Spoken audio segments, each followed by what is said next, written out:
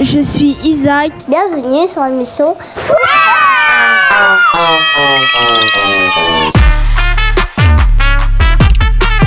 Je m'appelle Brianna. Mariana. Esther. Aujourd'hui, on va faire le duel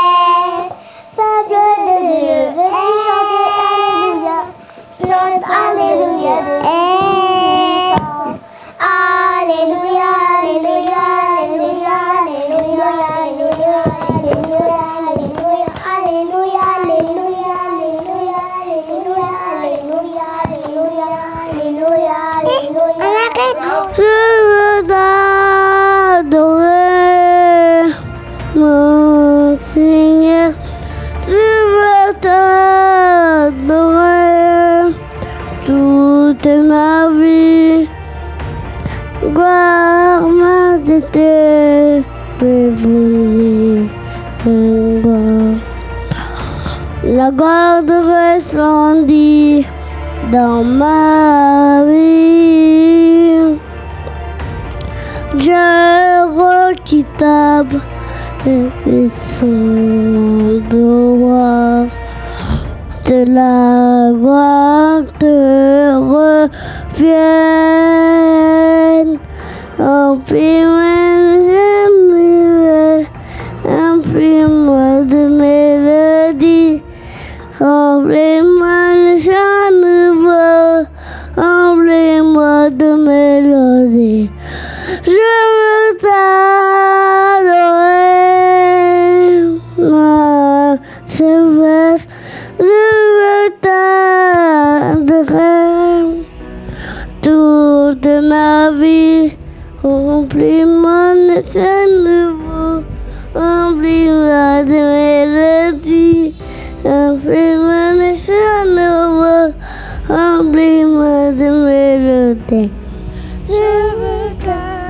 debout, arrête, debout. Non, pas de Non, debout, allez.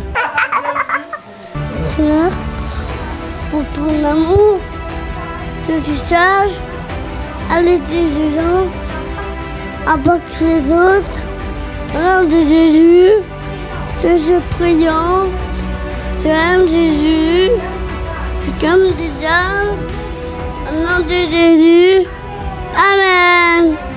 Je déclare que vous êtes bénis. Regardez bien ce que, vous avez reçu. À la prochaine dans Prière Bombe.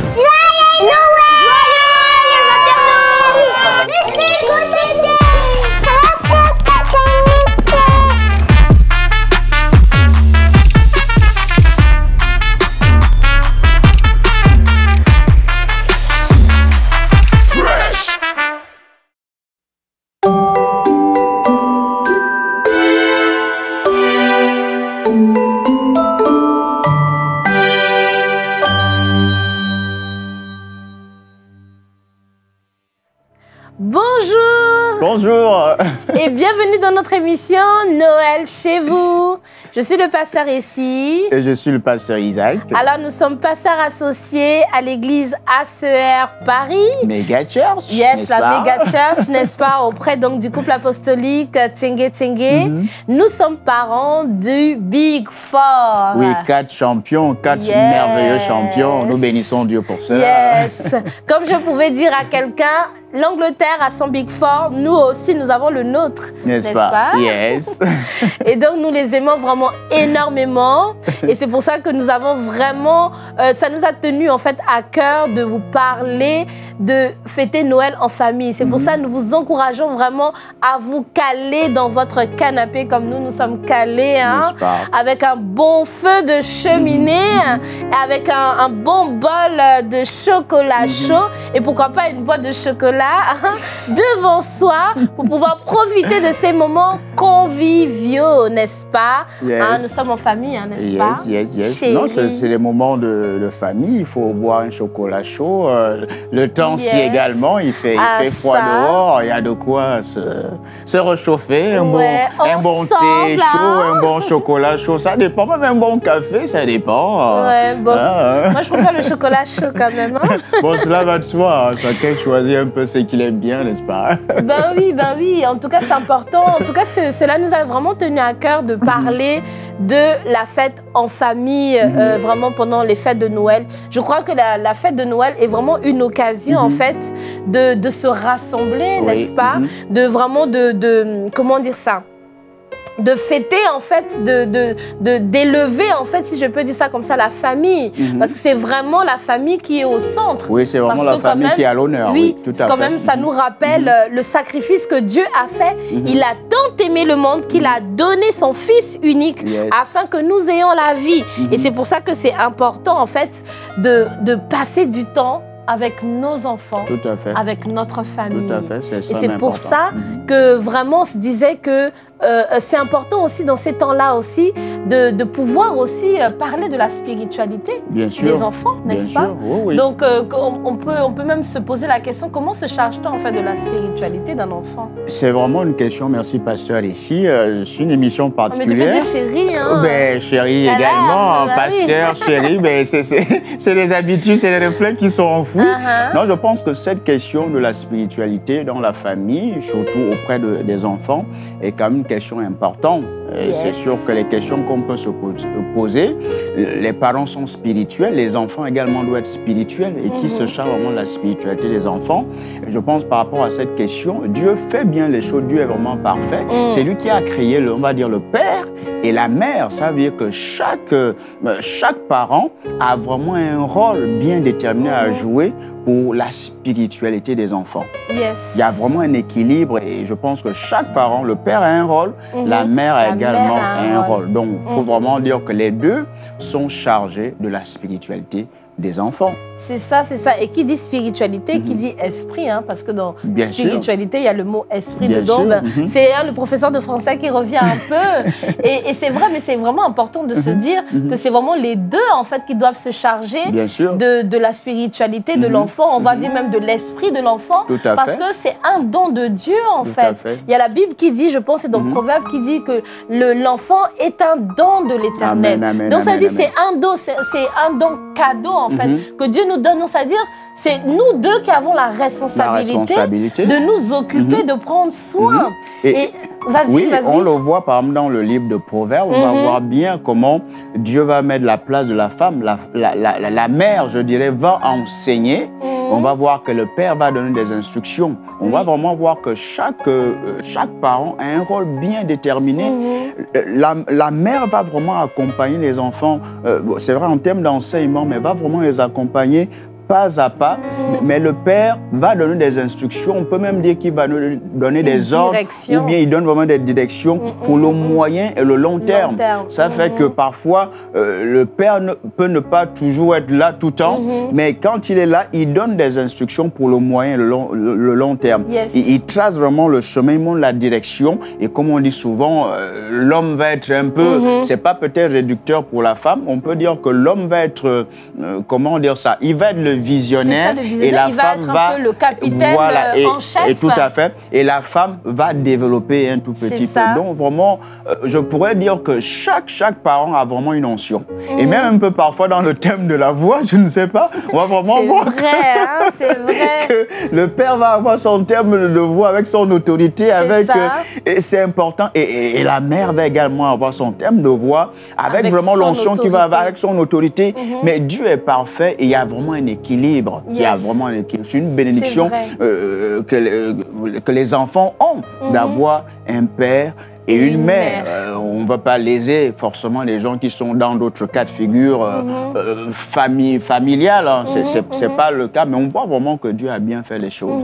Euh, et Peut-être qu'on peut également parler du culte familial. Oui, on peut parler de ça. forcément, Mais, mais oui. attends, mais je voulais quand même, Je je voulais quand même qu'on rebondisse sur Mhm. le fait que euh, l'enfant, il suit aussi l'exemple des parents, et c'est pour Mhm. ça que les deux en fait sont importants parce que comme Bien moi je sûr. vois par exemple les nôtres, Mhm. c'est pas forcément qu'on a institué, c'est vrai on va parler tout à l'heure du culte familial, de Oui. l'importance, Uh-huh. on n'a pas forcément institué ça, mais on voyait que le fait qu'ils nous voient en fait, nous-mêmes prier chacun en fait, Tout ça à fait. influençait en fait leur manière en fait de faire. Oui. Et c'est pour ça que je me dis que c'est vraiment important parce que l'enfant en fait est- n'est pas juste un être comme ça irréfléchi, mais c'est un être intelligent et réfléchi Mm. et qui peut prendre aussi ses décisions. Et c'est pour ça que c'est important de- de- d'avoir aussi une certaine, euh, comment dire ça, de les, de les influencer aussi Oui, par de, de l'exemple leur aussi. montrer l'exemple, effectivement. Et l'exemple, comme le pasteur ici vient de le dire, comme mon épouse vient de le dire, on est en famille.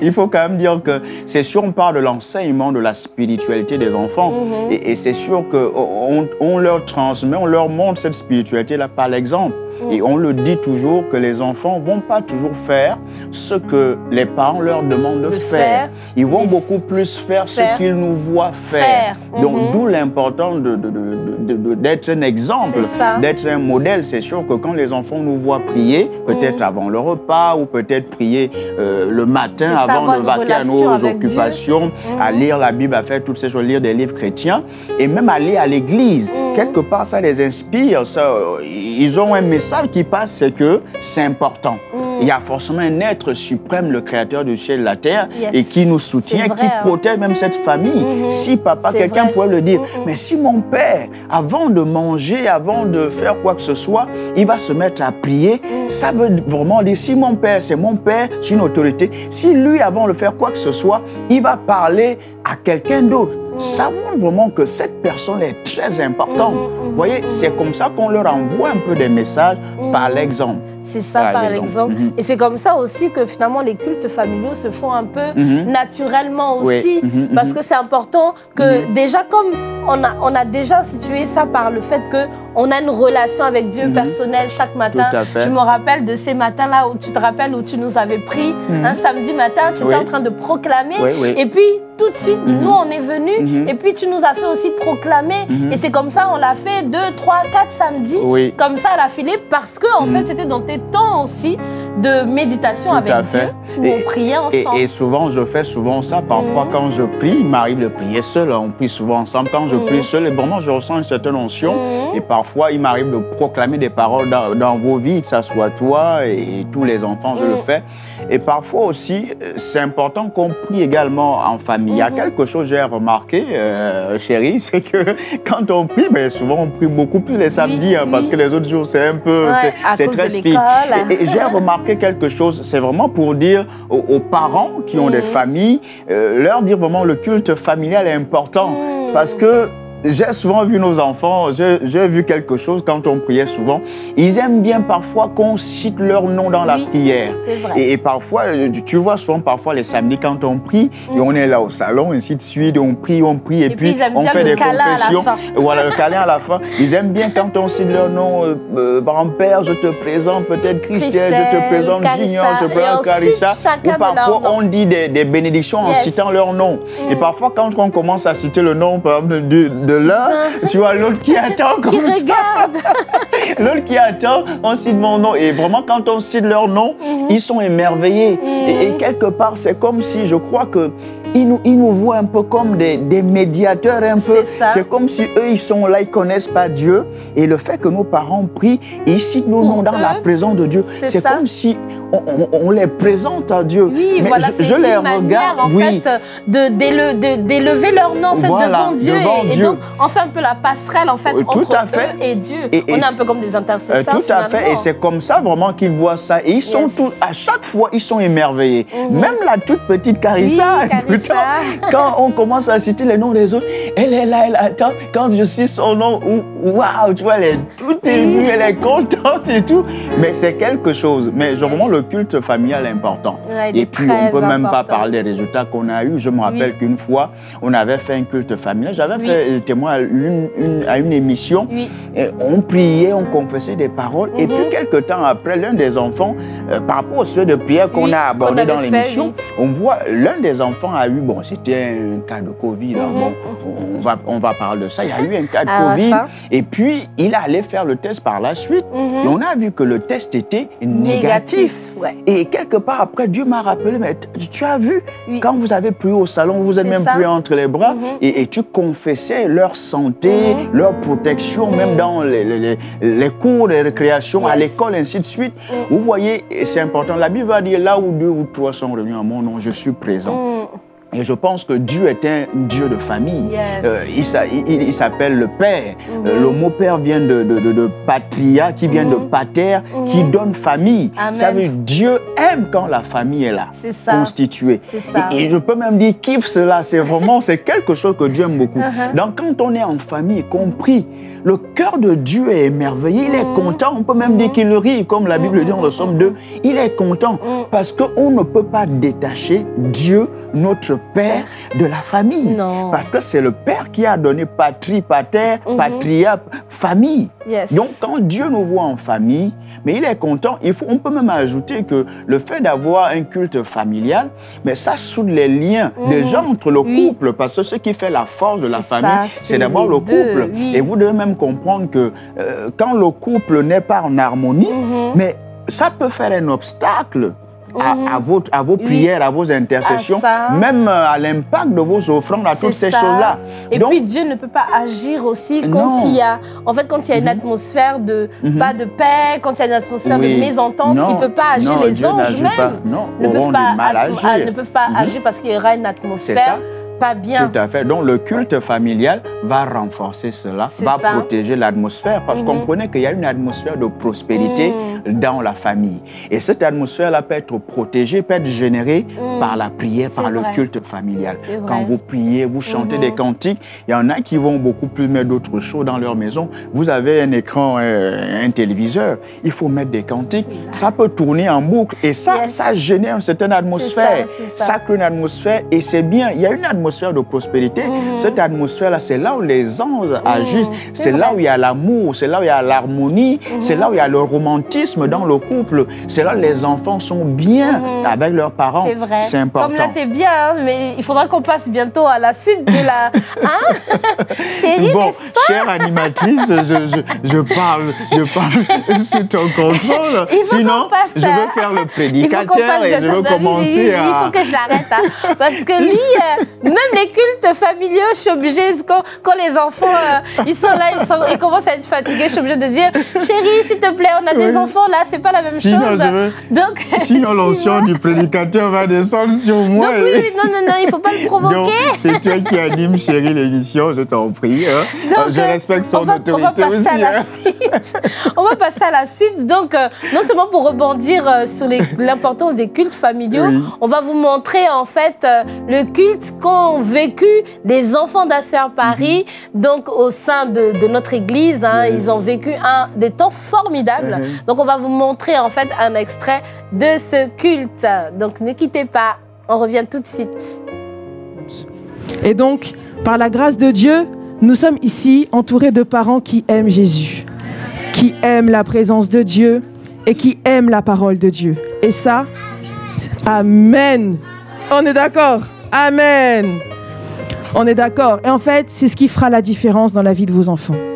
L'apôtre enseigne souvent que euh, la vie, comment dire, réussir sa vie, ce n'est pas juste réussir selon les critères des hommes, mais c'est de réussir selon le plan de Dieu pour sa vie. Et il n'y a pas de meilleure solution en fait pour réussir que de savoir entendre la voix de Dieu. Et nous, un des travaux qu'on fait, c'est d'apprendre aux enfants à reconnaître justement la voix de Dieu au moment où ben, il s'adresse à eux. Et ça peut arriver de différentes manières. Ça peut se passer dans un rêve, ça peut se passer dans voilà une expérience particulière, ça peut se passer à n'importe quel moment, à tous âges. Moi, j'ai un neveu qui m'a dit, quand il avait à peu près 7 ans, qu'il avait reçu une visitation du Seigneur. Mais genre, il m'a dit ça comme s'il me disait Oh, j'étais à l'école tout à l'heure. Je le regarde, je fais Mais quoi? Et à quoi il ressemble le Seigneur? Il me dit Oh, il est grand et puis il fait Oh, oh, oh. Je dis Non, là, tu te moques de moi en fait. Euh, ça, c'est le Père Noël. Il me dit Non, il fait pas Oh, oh, oh comme le Père Noël, mais genre, quand il parle, c'est comme si j'entendais Oh, oh, oh. Tu vois, il me dit Ça fait comme un écho. Et là, je pense directement à Apocalypse qui nous parle de la voix du Seigneur, qui dit qu'elle est effectivement comme une grande chute d'eau et euh, voilà qui fait un écho. Et je me suis dit, Seigneur, je jeûne, je prie pour que tu me montres ta face, je fais tout et tu te révèles.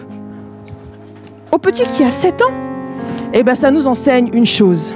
C'est que la foi, la foi que nous demande d'avoir le Seigneur, c'est véritablement la foi d'un enfant. Ça n'a pas été dur pour lui de se révéler parce qu'il a cru comme un enfant. Et l'enseignement que le Seigneur nous montre, c'est justement qu'il faut être comme un enfant quand on s'approche de Dieu. Et le message que j'aimerais donner à quelqu'un aujourd'hui, c'est que vous êtes des parents, mais vous avez aussi un père. Vous êtes des parents, mais vous avez aussi un repère. Pour dire que, pour dire que, vous êtes parents, vous êtes des repères pour vos enfants, vous êtes des lumières, mais vous êtes parents et vous avez aussi un père. Un père qui est pour vous un repère. Un père qui est pour vous une lumière. On dit qu'il est le père des lumières, d'accord? En qui il n'y a ni changement, ni ombre de variation. Et ce que j'aime avec le Seigneur, c'est que vous avez un père aussi qui vous demande justement d'avoir la foi comme un enfant. Alors nous, on grandit, on prend de l'âge, n'est-ce pas? On passe les- le palier des 10, le palier des 30, le palier des 35. Le palier des combien?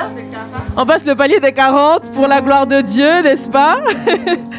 On passe le palier des 50 et on a l'impression que plus on grandit, plus on est mature et plus on est seul pour gérer sa vie en fait. On est seul pour gérer ses situations, on est seul pour gérer ses problèmes. On prend du grade, on prend des galons, parfois même on est promu et tout ça dans la vie. Mais dans tout ça, voilà, on se dit que on peut gérer maintenant, c'est moi qui dois gérer, c'est moi qui dois ceci, c'est moi qui dois cela. Mais il faut qu'on apprenne à garder le cœur d'enfant pour dire que tout en étant parent, tout en étant adulte, la foi que Dieu attend de moi, c'est celle d'un enfant. Et je reste aux yeux de Dieu un enfant. Et vous savez, plus vous resterez aux yeux de Dieu, vous garderez cette position d'enfant, et plus ça sera simple pour vous de montrer aux enfants comment grandir avec Dieu. Ça sera plus, simple pour eux de savoir comment s'approcher de Dieu, parce qu'en fait, ils vous auront vu faire. N'oubliez pas, vous êtes un repère. Et le repère le plus essentiel dans la vie d'un enfant, c'est son... Merci, bravo. C'est son parent. Toi, tu suis. c'est son parent, effectivement. D'accord? Et on n'est pas que parents pour assumer les, les- les situations de la vie, on est aussi enfant de Dieu. Et je vais vous donner un passage. 1 Corinthiens 15, 38. Est-ce que les parents, vous pouvez prendre avec moi? Du coup, 1 Corinthiens, le chapitre 15 et le verset 38. Dans cette parole, on est en train de parler de la résurrection et tout ça, mais c'est pas grave parce que c'est quand même un passage qui nous enseigne sur quelque chose que Dieu fait. La Bible nous dit ensuite Dieu donne à cette graine le corps qu'il veut et il donne à chaque graine le corps qui est le sien. Et avec ce petit passage, le Seigneur m'a enseigné sur une chose, c'est sur la forme que prend la destinée de nos enfants. Il y a une chose contre laquelle on doit vraiment se battre, c'est de se conformer au siècle du monde pour dire que mon enfant doit être ça, et à partir de là, je saurai qu'il a réussi.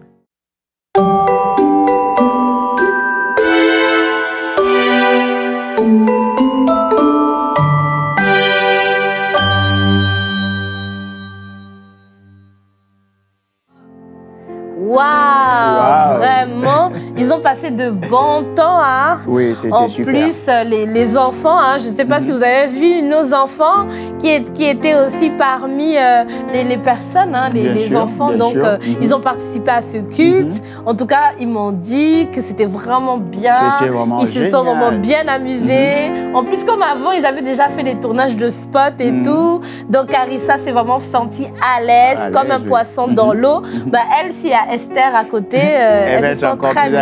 Ben, elles sont très copines. Ah oui, elles sont très copines. Donc en tout cas, c'était vraiment bien. J'espère que vous aussi, dans vos églises, vous avez aussi eu l'occasion Mhm. ou même euh, voilà, de, de faire euh, des cultes avec Mhm. vos enfants parce que c'est vraiment important hein, qu'ils aient aussi leur temps Mhm. aussi entre eux où ils peuvent vraiment, euh, comment dire ça se mouvoir.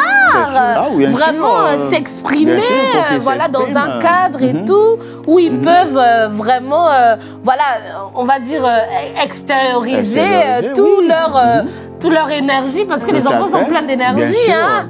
Même quand, ils- même quand on, a- on croit qu'ils ont dépensé ça, ils en ont encore à revendre. C'est pour ça qu'on peut vraiment bien se poser la question de la place euh, de l'école, en fait, euh, de l'éducation de l'école, bah, voilà, dans, dans, dans, dans nos enfants, chez nos enfants. Parce que c'est vrai que la plupart du temps, ils passent euh, plus de temps, on va dire, à l'école. Donc pour ceux qui euh, les déposent à la cantine, donc Oui. ce- pour ceux qui vont à la cantine, ils passent carrément de 8 heures parfois à 16h30 pour ceux qui ne font pas l'étude ou ceux qui ne les mettent pas au centre de loisirs. Oui. On peut vraiment se, se poser en fait la question en fait de la place de l'école en fait dans l'éducation des enfants. Chérie, tu veux surtout parler l'école chrétienne? L'important de Euh, l'école chrétienne? Ben, on va dire l'école en général, hein, l'école en général d'abord et puis après c'est pour ça qu'on va parler après de Euh, l'école chrétienne. hein. d'accord, ok, ok, Ben, c'est sûr.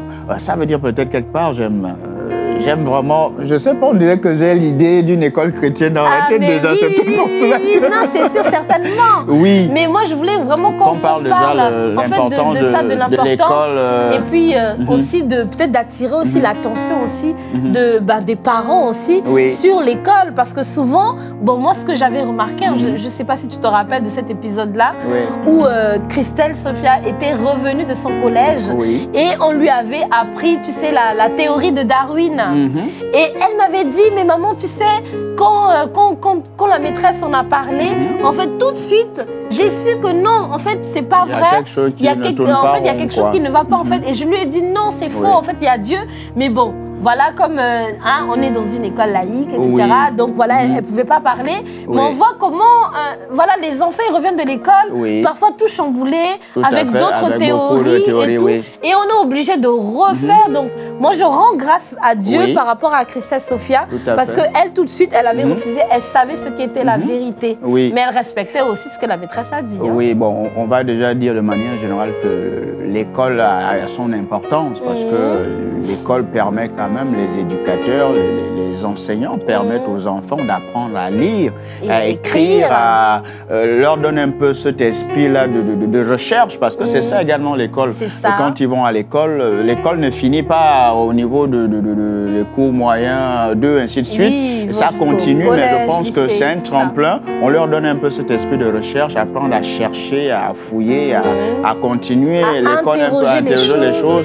Donc, euh, vraiment, l'école est importante pour les Mhm. enfants. Euh, Mhm. ben, c'est vrai, on, on l'a- on a peut-être parlé en amont du culte familial. Je Mhm. pense que euh, maintenant, nous qui sommes chrétiens, on va voir que euh, quand on a des cultes familiaux, en même temps avec la place de l'église, et que et ils vont à l'école, ils vont apprendre à lire, à écrire, mais il y a d'autres choses, on ne sait pas exactement les programmes. Et quand ils apprennent ces choses, peut-être qu'ils sont chamboulés. Je pense que le fait qu'ils aient un peu ce bagage-là spirituel, ça va leur servir de filtre un peu. Se dire que ben, ça, voilà ce que Dieu dit, voilà ce que la Bible dit, voilà ce qu'on me dit à l'église. Mhm. Bon, c'est sûr, on m'apprend à lire, à écrire, ainsi de suite, mais ces, ces autres matières-là, il y a quand même des théories qui sont développées. Mhm. Je prends ça un peu avec des pincettes.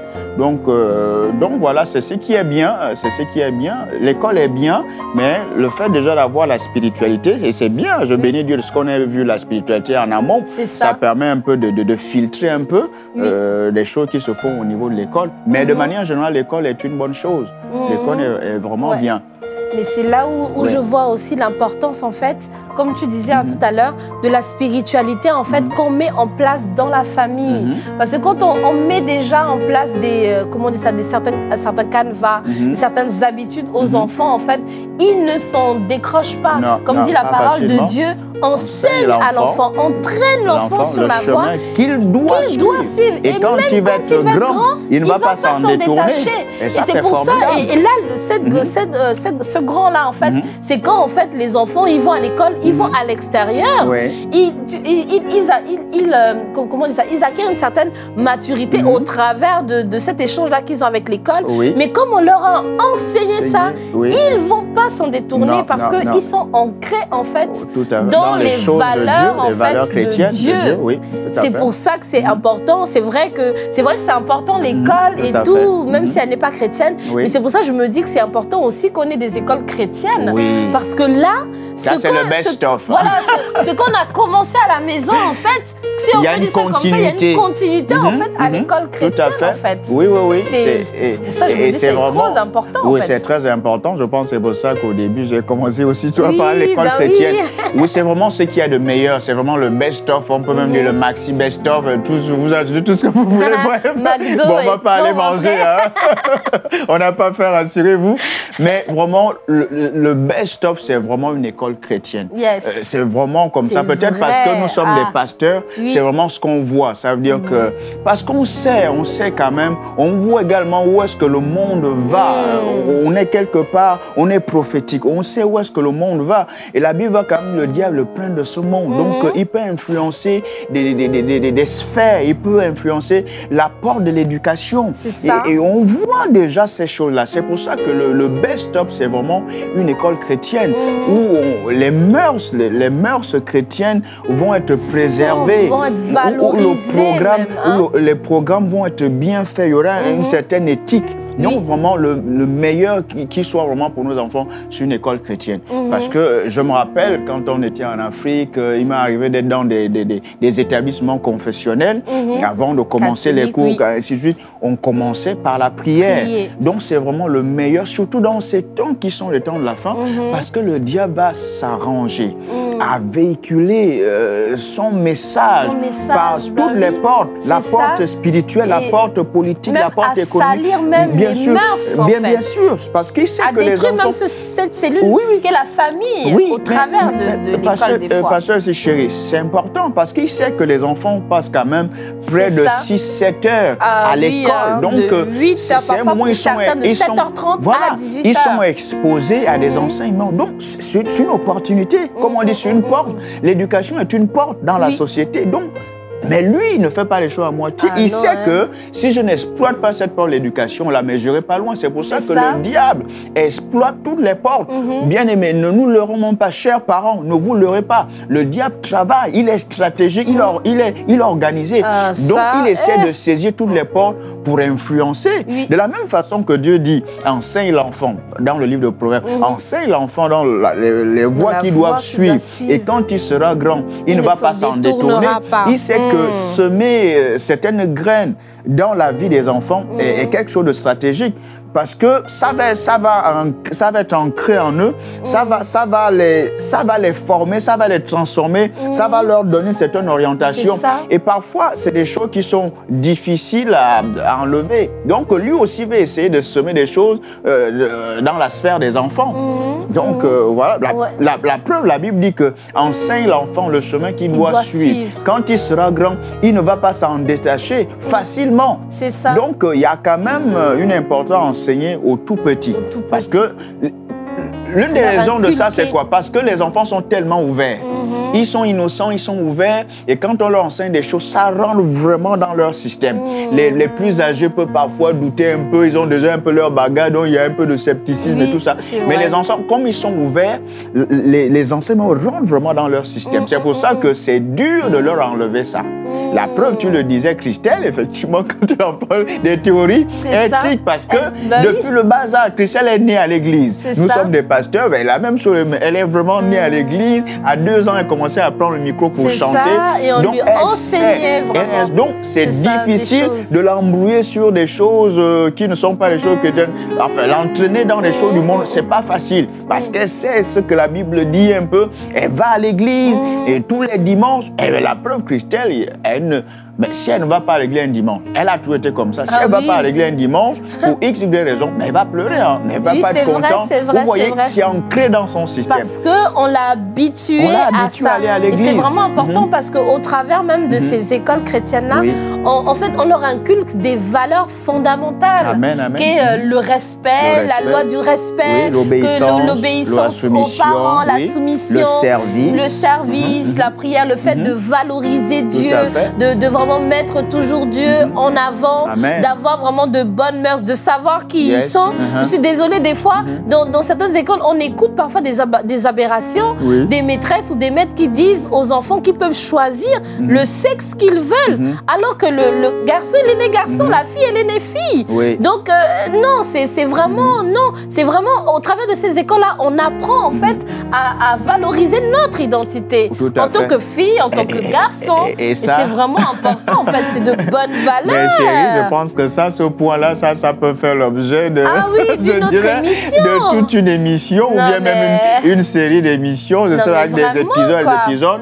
Et, et c'est un peu ce que j'ai essayé d'effleurer. Mais si on se met à parler de ça, ben, ça Mhm. Non, va être très très long. Mais c'est pour ça que j'ai parlé un peu du monde, un peu ce que Mhm. le diable essaie de véhiculer. Effectivement, ces lobbies-là, ça. malheureusement, ce sont des choses qui commencent à, À vouloir s'insinuer, un euh, peu vraiment dans les dans la écoles. C'est de pour nos cela enfants, que vraiment l'idéal, c'est vraiment que les chrétiens aient des Et écoles des écoles. chrétiennes. C'est Et pour ça que nous pouvons même dire, lancer comme un appel aux chrétiens, peut-être Oui. qui ont des moyens, des, hommes et des de femmes d'affaires, de et essayer de, de, de, de, de s'imp- de s'imposer dans cette porte-là. Elle est stratégique. Mhm. Très Elle est stratégique. stratégique. Vous imaginez les enfants, pendant toute une semaine, ils vont de lundi à vendredi. Mhm. Et chaque jour, c'est presque 6, 7, 8 heures. Oui. Donc vous voyez que c'est la société de demain. Mhm. Donc euh, si vous êtes des businessmen, vous avez de l'argent, mais c'est le cas, essayez de penser à ça, comment vous pouvez lancer des écoles chrétiennes, c'est important. Vous Mhm. Allez voir que ce que nous, les pasteurs, nous commençons à l'église, Mhm. les dimanches, serez dans la la semaine. Vous allez la, la continuité de ce Mhm. travail-là, il ne va pas se perdre, il va être préservé. C'est Wow. extrêmement important. Parce que c'est l'église la lumière du monde. C'est l'église le sel de la terre. La colonne et de et la nos vérité. enfants sont un peu notre prolongement. Mhm. C'est comme la Bible le dit dans Ésaïe 58, Ésaïe 53, que Jésus va prolonger son plaisir. Nous sommes son prolongement. Il prolonge son plaisir par nous, le corps. C'est ça. Il est monté, mais il- nous sommes son prolongement. Mhm. Et nos enfants, les enfants des, des chrétiens, des pasteurs, des leaders chrétiens, des chrétiens en général, leurs enfants sont le prolongement, Prolongement. de l'Église. Parce qu'un moment pas avant un certain on part, mais eux, ils vont rester avec l'Église. Ils vont continuer à éclairer. La C'est même ça. façon, Jésus continue à éclairer au travers, Travers de, de nous. Comme Esaïe le dit, ils vont éclairer. Donc c'est extrêmement important. Mhm. C'est extrêmement important de lancer des écoles chrétiennes. C'est vraiment ce qu'il y a de meilleur. Mhm. Parce qu'on peut, on peut bien concevoir des programmes. Parce que le monde, effectivement, euh, va donner des problèmes. Je vous assure, ce sujet-là, euh, je ne veux pas encore une fois que Oui. l'onction de prédication tombe sur moi. Parce que vous Non. savez, en tant que pasteur, c'est vraiment vous dire ça. On ne va pas dans la fausse modestie, la fausse Mhm. humilité. Mais un pasteur a une très grande vision. Je peux même vous dire, un pasteur vrai, a une hein. vision Ah comme là un là. Président de la République. C'est comme ça. Parce qu'un pasteur va voir l'éducation. Il voit pourquoi il faut faire tel programme. Quel est l'impact dans la spiritualité? Le pasteur voit ça. Le pasteur va voir dans les sports, dans tous les domaines. Il voit où est-ce que la spiritualité peut être corrompue. Ça, c'est le rôle du pasteur. Il va voir la, la société. Qu'est-ce qu'il faut à la société? Bon programme pour que la société soit préservée. Ça, c'est vraiment ça le pasteur. C'est vraiment ça, Donc, le euh, pasteur. C'est Wow. important d'avoir des écoles C'est chrétiennes. Nous prions vraiment que Dieu suscite des vocations dans ce Oui. sens, des gens qui créent des écoles, et qui, qui, qui envoient même par exemple des chrétiens en formation, faire des CAPES, toutes ces choses-là, ainsi de suite. Et le pasteur Simon épouse, je pense que tu es bien placé, toi Oui, tu as bah fait oui, le CAPES, oui, j'ai fait le peut-être que tu c'est vas pour ça. encourager des personnes Bah oui. dans ce sens. C'est Mais pour ça que important. j'encourage, j'encourage C'est vraiment les gens à s'immiscer vraiment dans cette porte de l'éducation. Yes. Que ce soit en tant que professeur Yes. d'école, de collège, de lycée, mais même aussi en tant que directeur Yes. d'école, Mhm. de lycée, de collège, Mhm. et vraiment de s'immiscer dedans. Et vous Oui. allez voir, même pour les écoles qui ne Mhm. sont pas chrétiennes forcément, vous pouvez apporter la lumière dans ces amen. écoles. Amen. Et même là, nous avons le reportage d'une école chrétienne en plein Paris. Oui. Je vous assure, même moi, j'ai envie d'inscrire mon enfant dedans, Et- tellement c'est intéressant. Et- nous allons voir le reportage. Et si tu me le permets, peut-être Oui. vite fait avant de montrer le reportage. D'accord, parce qu'elle a quelque chose à nous euh, dire, hein, fait, cette dame. Juste dire, dire aux gens que, en fait, on parle souvent de l'appel en tant que Mhm, chrétien. mhm. Vous devez comprendre, il y a plusieurs types d'appels, il y a plusieurs types de ministères. Il y Mhm. a les cinq principaux ministères, mais il y a des ministères spécialisés, il y a des services, comment dire ça Effectivement, des ministères spécialisés. Mhm. Et ne vous, il n'y a pas de petit ministère avec Dieu, il n'y a pas de petit appel avec Dieu. Je peux vous dire, vous n'êtes pas toujours, on n'est pas tous appelés à être pasteur, Non. à être évangéliste, à être prophète. vraiment. Mais le fait de se- de s'impliquer, de, se lancer dans euh, la cette porte de l'éducation, peut-être créer des écoles, essayer d'encourager des chrétiens à se former en tant qu'éducateurs, Mhm, étant mhm, chrétiens, c'est précieux, c'est extrêmement important. C'est un grand ministère, c'est pas Mhm. petit. Il y a une onction qui accompagne cela. Yes, Je vous yes. assure, c'est important. Surtout Alors- dans ces temps qui sont les temps de la fin. Alors effectivement, il y a une onction qui accompagne cette femme de Dieu que vous allez voir. Mhm. Elle a vraiment à cœur vraiment l'éducation chrétienne dans Yes. les enfants. Mhm. Et euh, son école, c'est école, euh, je pense, bilingue Mhm. avec principe. Et vous allez voir, c'est trop waouh. Wow. Je vous laisse et on se retrouve tout à l'heure Yes. pour la suite.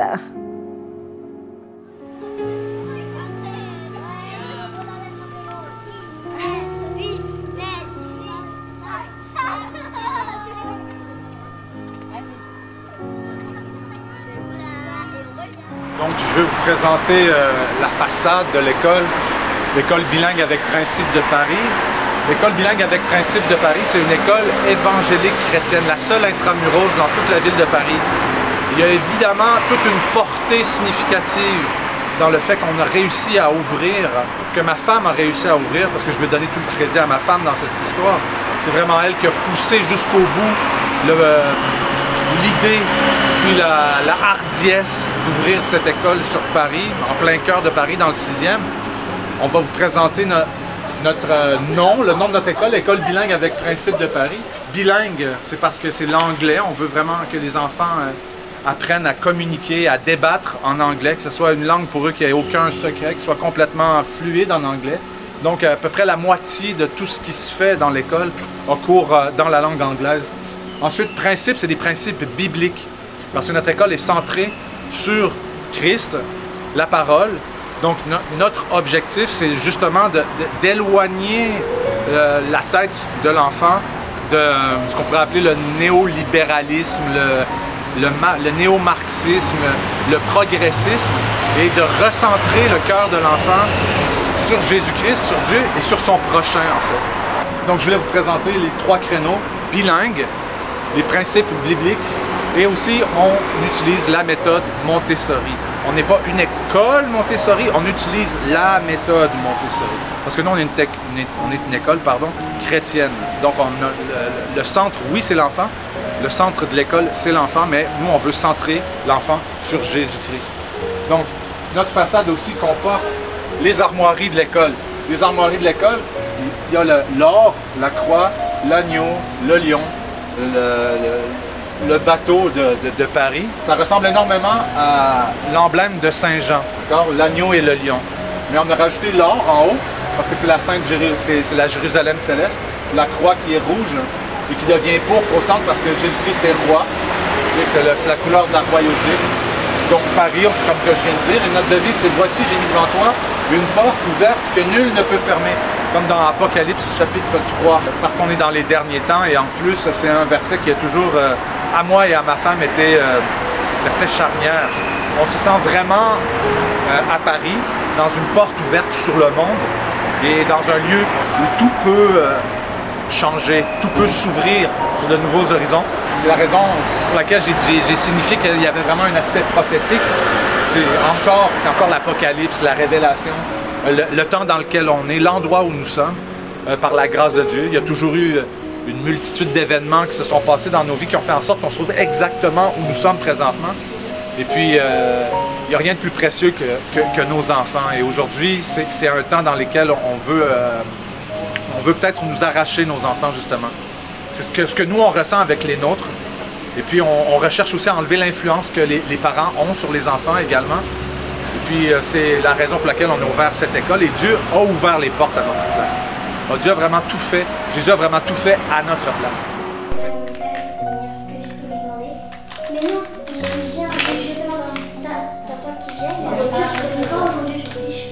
Mais du coup, je pourrais pas écrire. Non, t'as pas besoin parce que tu as déjà fait une fois. Si tu veux écrire un livre, tu peux. Ah, je l'ai fait juste comme ça et j'écris même pas. Tu peux mettre ton résultat si tu veux. Faire un pythagore. Je m'appelle Rebecca Sirois, j'ai 38 ans, je suis née au Brésil, je suis mariée, je suis maman de cinq enfants et je suis chrétienne depuis ma naissance, une famille juive qui s'est convertie au christianisme, au protestantisme. Je sers euh, Jésus depuis, depuis que je suis très jeune, depuis ma tendre euh, adolescence.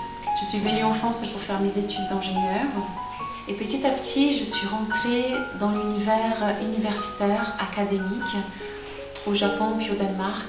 Et je suis revenue en France pour euh, enseigner et je suis maître de conférence à la Sorbonne aujourd'hui. L'école, c'est un projet qui, qui n'est pas né dans, dans mon cœur. C'est quelque chose qui nous a été sémé euh, par le Saint-Esprit.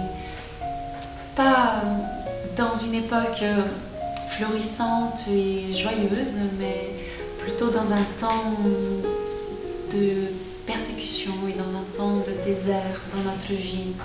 Nous avons énormément souffert pour garder nos enfants, pour enseigner nos enfants dans les principes bibliques, dans un univers qui est de plus en plus laïque autour de nous. On accuse les parents de trop enseigner la Bible à leurs enfants. Et c'est exactement ce qui s'est passé avec nous. Nos enfants ont commencé à parler de Christ à l'école avec un discours créationniste, un discours de foi inébranlable en Jésus-Christ. Et cela fait peur aux équipes euh, qui les entouraient dans une école publique. Et nous avons beaucoup souffert de cela, des enquêtes publiques, nous avons reçu du personnel euh, du service social chez nous pour enquêter, pour vérifier que nous, nous donnions une bonne éducation à nos enfants. Ils ont été surpris en venant à la maison. Ils ont vu la qualité de la vie que nos enfants avaient et puis la qualité aussi pédagogique finalement qui entourait ces enfants. À l'époque, j'avais déjà acheté un ensemble de matériel Montessori et j'enseignais déjà à mes enfants dans la méthode Montessori avec un apprentissage qui est sensoriel, qui n'est pas un apprentissage euh, abstrait. Et donc mes enfants, ils ont beaucoup évolué dans l'école parce qu'ils ont fait l'acquisition de ce raisonnement sensoriel qui les a vraiment aidés à se développer.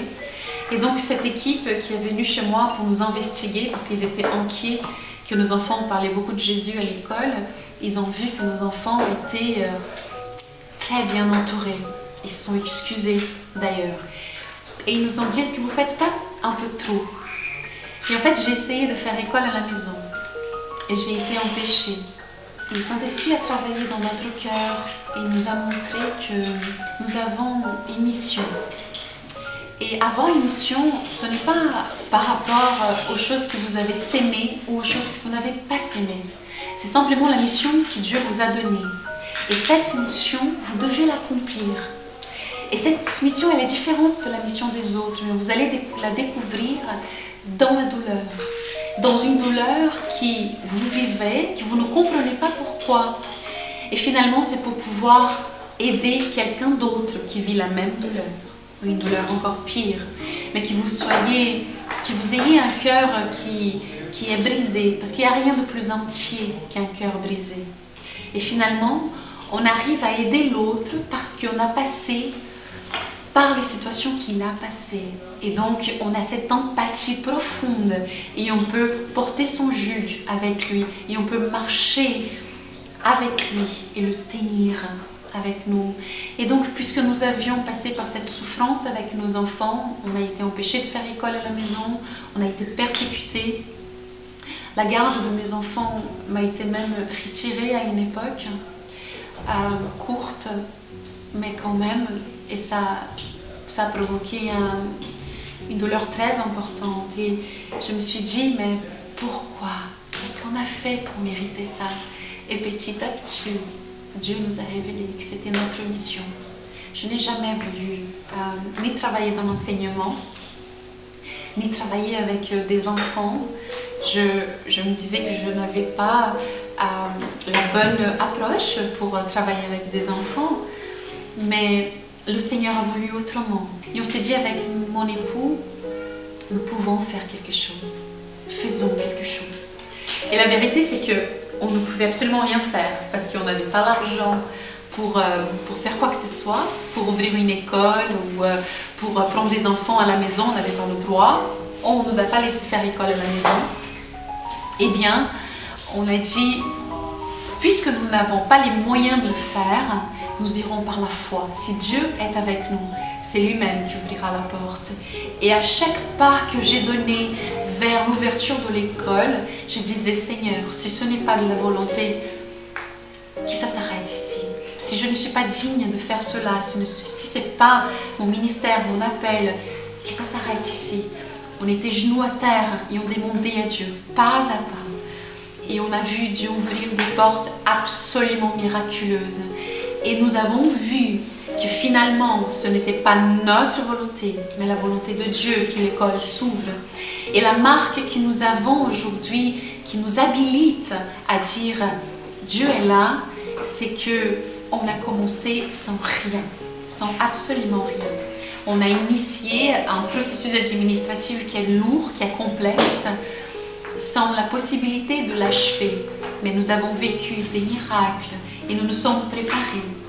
Et donc, euh, malgré que, que j'ai un PhD, que j'ai un MBA, que je sois ingénieur, que j'ai un master, j'ai tout de même revenu vers les études et je me suis inscrite dans un master Montessori à l'université de Barcelone et puis mon époux aussi, il fait un master Montessori pour l'enseignement de la méthode Montessori de 0 jusqu'à 12 ans.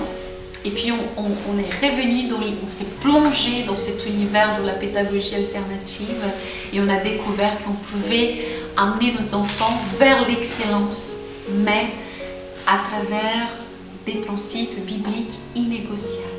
C'est comme ça que l'école est née. Bon, alors c'est les parents qui témoignent de ce, de ce différence-là.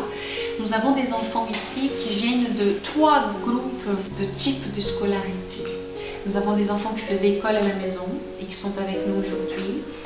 Nous avons des enfants qui étaient dans l'enseignement public français et nous avons des enfants qui étaient dans l'enseignement hors contrat, dans l'enseignement privé. Nous retrouvons chez ces enfants une différence gigantesque. Les parents disent qu'ils sont